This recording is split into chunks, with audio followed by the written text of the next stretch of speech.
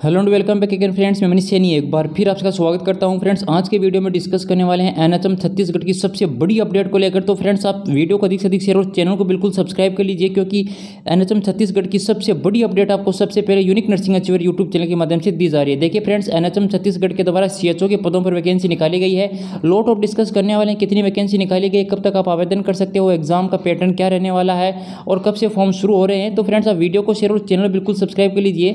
NHM Chhattisgarh के द्वारा जो वैकेंसी निकाली गई फ्रेंड्स सीएचओ की इसमें पहले आपको सर्टिफिकेट कोर्स करवाया जाएगा मतलब ब्रिज कोर्स आपको करवाया जाएगा छः महीने का। जो कैंडिडेट पहले से ही बीएससी नर्सिंग जीएनएम या पोस्ट बेसिक बीएससी नर्सिंग का कोर्स कर चुके हैं, उनको इंटीग्रेटेड कोर्स का फ़ायदा नहीं मिलता है। इसलिए उन कैंडिडेट के लिए ये कोर्स लागू किया गया है, जिन्होंने इंटीग्रेट कोर्स कर रखा है, वो आवेदन ना करें।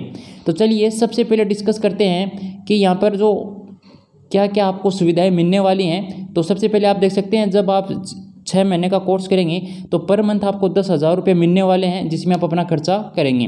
इसके अलावा आपको बता दें फ्रेंड्स मिड लेवल हेल्थ जो प्रोवाइडर के रूप में अगर आप कॉन्ट्रैक्ट बेस पे काम करेंगे तो आपको सोलह हज़ार पाँच सौ रुपये दिए जाएँगे। और अधिकतम जो आपका परफॉर्मेंस जो बेस्ट इंसेंटिव आपको मिलने वाला है, वो पंद्रह हज़ार रुपये तक हो सकता है। मतलब जो टोटल सैलरी यहाँ पर आपकी होने वाली है समथिंग समथिंग बत्तीस तैंतीस हज़ार के आसपास होने वाली है।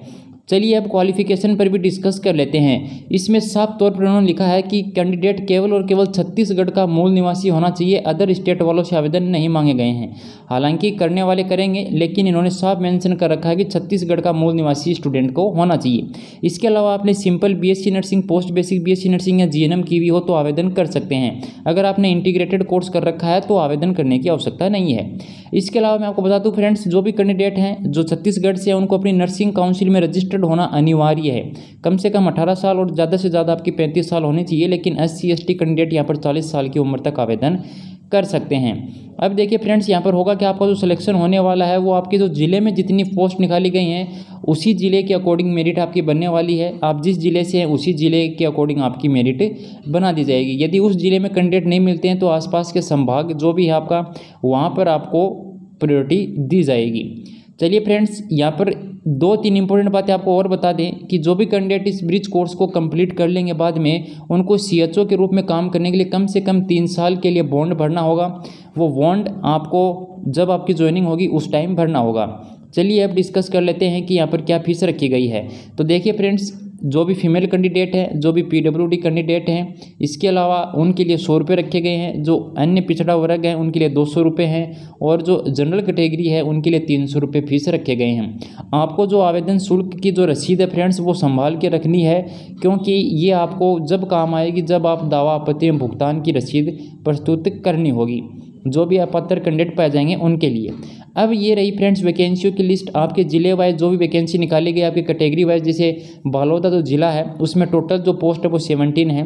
जनरल के लिए आठ हैं, अनुसूचित जाति के लिए पाँच हैं और अनुसूचित जनजाति के लिए सॉरी फ्रेंड्स जनजाति के लिए पाँच हैं, जाति के लिए एक है और ओबीसी के लिए तीन पोस्ट यहाँ पर रखी गई हैं। तो टोटल यहाँ पर फ्रेंड्स बात करें कि टोटल कितनी वैकेंसी निकाली गई हैं? छत्तीसगढ़ में तो टोटल ज़िले हैं वो अट्ठाईस हैं और अट्ठाईस ज़िलों में आठ सौ पोस्ट निकाली गई हैं। तो ये आप यहाँ पर पूरी डिटेल चेक कर सकते हैं। तो फ्रेंड्स, वीडियो को शेयर और चैनल को बिल्कुल सब्सक्राइब कर लीजिए ताकि हर एक अपडेट आपको सबसे पहले मिलती रहे। इसके साथ ही साथ आप हम इंस्टाग्राम पर अधिक से अधिक फॉलो करें ताकि वहाँ पर भी हर अपडेट आपको सबसे पहले मिलेगी। Friends unique nursing achiever YouTube channel की यही पहचान होती है।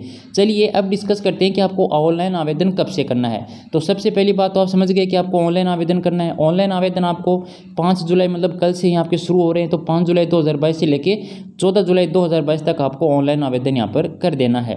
इसके अलावा किसी भी प्रकार के यदि आप डॉक्यूमेंट अपलोड नहीं करने हैं, जैसा कि उन्होंने साफ़ मेंशन कर रखा है, ऑनलाइन आवेदन भरते समय पूरा ध्यान रखें। अब देखिए फ्रेंड्स, केवल और केवल आपको ऑनलाइन ही आवेदन करना है।